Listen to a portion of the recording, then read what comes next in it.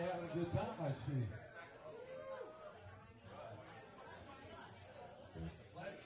A real spacey song over here. Covered by uh, Willie Nelson and uh, oh, Kenny Rogers.